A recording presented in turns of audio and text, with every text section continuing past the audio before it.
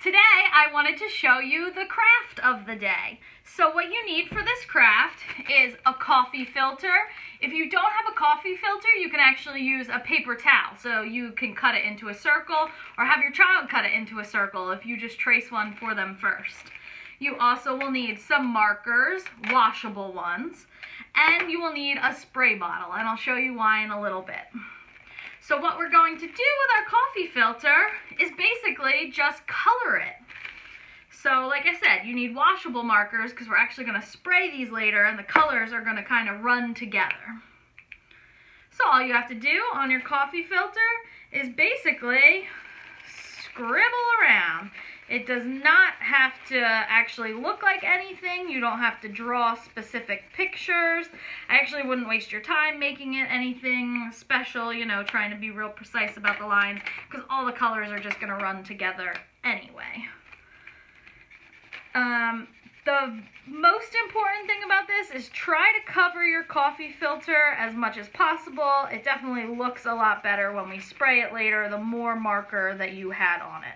If you have a bunch of white spaces, it is going to fill those in, but the colors will be a lot brighter um, if you color most of the coffee filter.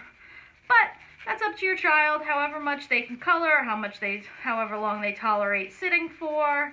That's totally up to you guys. So, so far I have used purple, red, and blue. Maybe I'll try some green. So what I'm doing is I am going to use the colors of the rainbow. Because that's what we're talking about this week, rainbows and colors. So you could use black and brown. Um, I'm just not choosing to do that because I like the bright colors a little bit better. Also, I'm just doing mine in lines. You definitely do not have to do it in lines. It's actually kind of fun if you mix the colors around a little bit. Like I said, you'll see why in a little bit when we go to spray it. Um, red, I need orange, yellow, green, blue, purple. Perfect. So once I have orange, that is actually my last color. All right. So there we go. I have colored in my coffee filter, filling as much of the area as I could.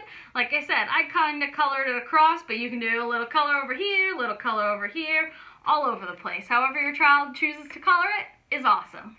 So now let's go to the sink and I'm going to show you guys the next step. Alright guys, so now for the next step.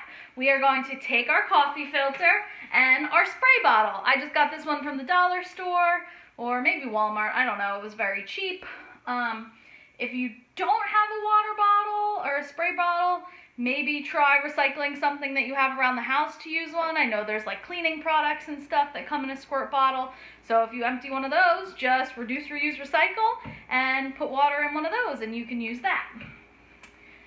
So what you're going to do is hold up your coffee filter, take your water, and just go ahead and start spraying it.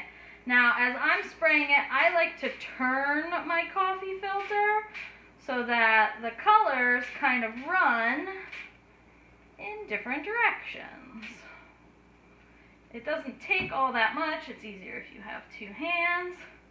But that actually looks like enough. As you can see now, all of my white space is gone and the colors have kind of bled together. And it looks a lot nicer. So now we're just going to let that dry and I'll show you what it looks like then.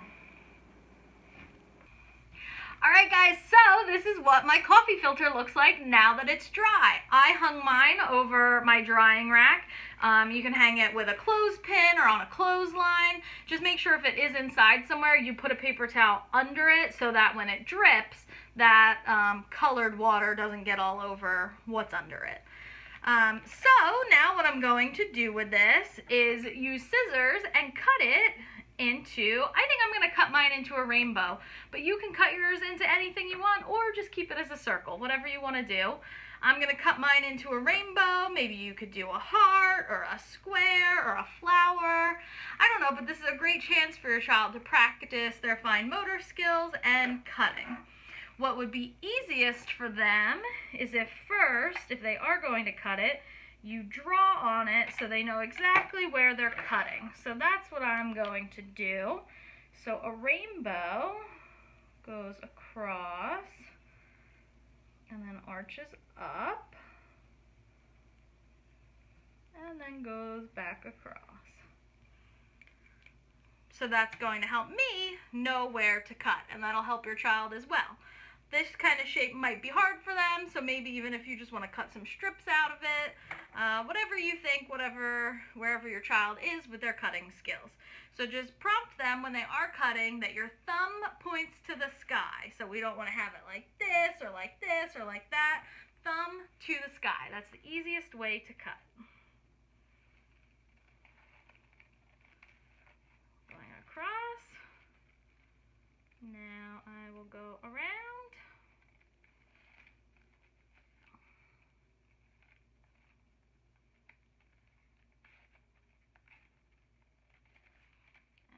final across. And there we have it. The rainbow that I made out of a coffee filter. Like I said, I think it works with a paper towel as well. I did one like that earlier in the year for a different project that we did.